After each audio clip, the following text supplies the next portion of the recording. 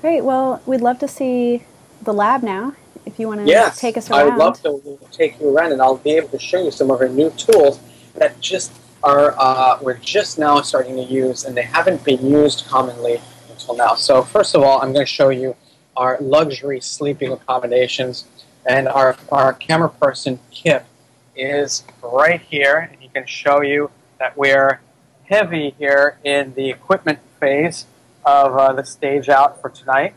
We've got our cameras. Kip is our camera person. Uh, we've got the luxury bunks, as you can see, three on either side. If, if you can move just slightly sideways, we can show you how we sleep at night. We can the world's best television set right there, live all day, all night. Uh, we've got our Doxa watches, which uh, we have about hundred thousand dollars worth of watches down here, for the very reason that because we're saturated, dive computers don't work at Aquarius. And the reason for that is dive computers quite literally get bent, or they get the bends, just like a diver would if they were to go to the surface from here. Hmm. So what we use are analog watches, which gives us our bottom time and therefore keeps us safe. So sometimes old school is new school in this particular case. Now we've got Ryan right here. Ryan Lepete. He is one of our technicians. He runs the habitat along with Mark uh, Hulsbeck, who's on the other side, and he makes sure that we're okay, that all our uh, oxygen levels and CO2 levels are good, and the pressure in here is equivalent to the outside pressure. To make sure that the temperature and humidity is okay. As you can see, we do have communications over there, uh, including text message. And the fact that you and I are able to speak over Skype is a testament to this being an amazing underwater classroom using a technology that we take for granted on land, but is available for the first time on a Cousteau expedition.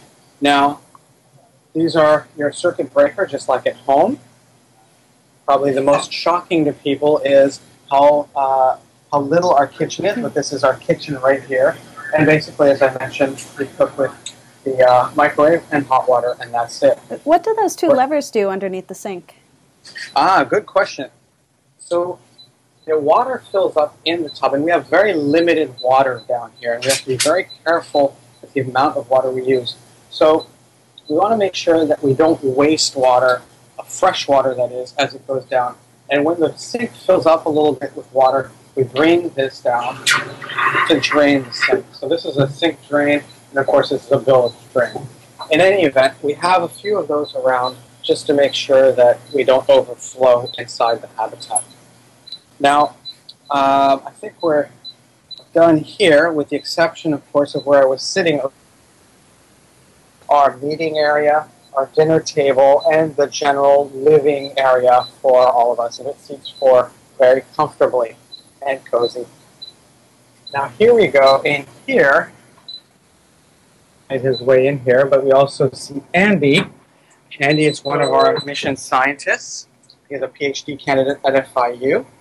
And Andy is now working on uh, predator prey. Actually, you're setting up your equipment for tonight, I believe. Yes. And uh, can you let us know exactly what you're working on? So we're looking at how predatory fish impact the behavior of herbivorous fish on the reef. So the herbivores are really important for eating algae and keeping coral reefs healthy in a coral dominant state. But we tend to find that when you lose predators in most systems, things kind of drastically change. Actually, the indirect effects of predators, because it's not just how many fish they eat, but actually their ability to scare other fish and change their behavior. So we're looking at how the presence of predators will change the behavior of animals on coral reefs. Great, thank you, Andy. You got it. And Adam is working here, and I think the uh, the station is down right now. But Adam is working here at this station uh, with regard to the 3D holographic sonar, so that we can see what these animals are doing on the reefs when we're not around. So quite literally, we're using sound to create imagery the way a video camera would with light, except that light is very disruptive to animals, so that in this particular case, we can actually see the animals through sound. And that gives us a much better view of what happens to, uh, to animals when we're not around. Uh, and for a film it's a boon because it really does give us an amazing view into a vastly underexplored world. So actually, Adam is now putting it up right now. You can see this is a live view, and you can see some fish swimming around. And this is all done by acoustics. So I don't know if you get a good view of that. You can find it online. But you can also find it online. Let me see if I can. There you go. And you can see some critters swimming around, and you can actually make out that these are different species of fish. So combining uh, Adam and Andy's work is of paramount importance to get a full picture of what's going out on out on the reef.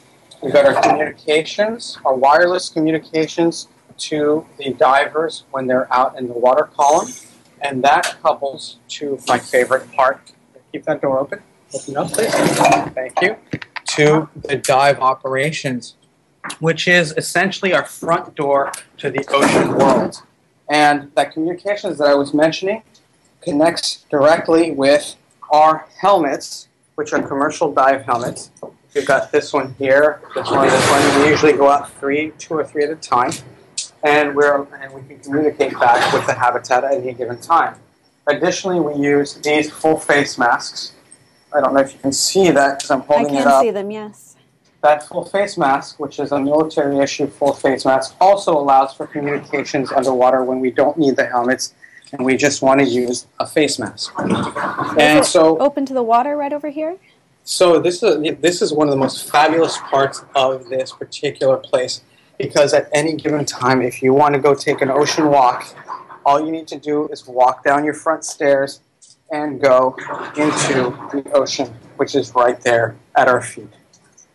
And it's one of the most amazing feelings to be able to do that for as long as you want. How high is that off the ocean floor? We're uh, about uh, 10 feet or so off the ocean floor. So it gives us enough space to go under and to come back. And that, for those who like to take showers, we have to take showers before we go in the habitat to avoid saltwater corrosion in the dry part of the habitat.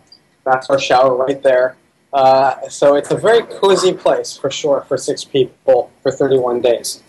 But essentially, that's the short version, or the, the, the five, uh, the, the nickel tour, so to speak. Uh, I won't explain all the valves and everything else, but you can see that it's a combination of new and old technology that makes this possible. Two things that we have here that I haven't mentioned yet. So we have a PAM or a fluorometer that shows you, and of course our scientists can do a better job of than I can, but this fluorometer gives us a sense of the health of coral reefs without being invasive.